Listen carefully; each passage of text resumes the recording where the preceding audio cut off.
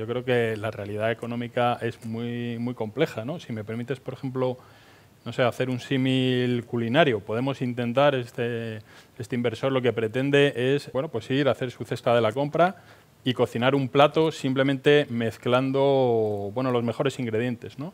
Yo creo que esos ingredientes eh, requieren también pues, de un tiempo de cocinado, de una serie de, bueno, de, de aspectos, ¿no? de qué proporción hay que aplicar en la cocina a los ingredientes, y esto, aplicado al concepto de fondos de inversión, significa que un gestor que está gestionando un fondo mixto está cada día monitorizando exactamente en qué activos y en qué proporciones tiene que estar en cada momento. Y yo creo que esto, en un momento complejo como el que estamos viviendo ahora, en una realidad cambiante, pues cobra una importancia vital. ¿no? Tú puedes montar una cartera de fondos de inversión, pero no tener la flexibilidad de moverlos en el momento adecuado, cuando por ejemplo un buen gestor de fondos mixtos pues puede tener la capacidad de hacer una cobertura con derivados en un determinado momento o de virar rápidamente la estrategia cambiando eh, el nivel o las proporciones de exposición a un determinado sector. Obviamente aquí eh, se ha puesto,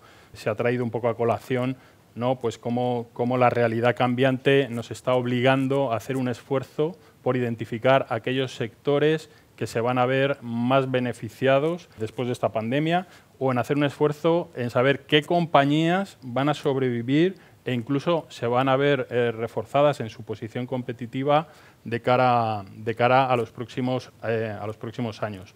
Por lo tanto, yo creo que, bueno, invertir en fondos mixtos es una, es una buena idea, siempre y cuando se conozca un poco la política de inversión de estos fondos, qué posicionamiento puede tener y sobre todo cuando confías en una gestora pues que tiene cierto track record y que ha demostrado que es capaz de hacer esa combinación de renta fija y, de renta variable de manera adecuada. ¿no? Miguel hace un momento pues ha enseñado ¿no? cómo, por ejemplo, un fondo como Nexus eh, pues ha, podido cambiar su ponderación en renta fija y en renta variable en función de las expectativas que, tenemos para, para, la evolución de las bolsas. ¿no? Eh, pasa exactamente igual en, el resto de fondos mixtos de, la casa, ¿no? como el renta 4 renta fija mixto, donde pues ahora mismo, por ejemplo, tampoco estamos cargados al tope de capacidad de renta variable, estamos con un nivel de inversión del 20-22%, pudiendo llegar a estar eh, en algún momento hasta el 30% de inversión en renta variable. ¿no? Yo creo que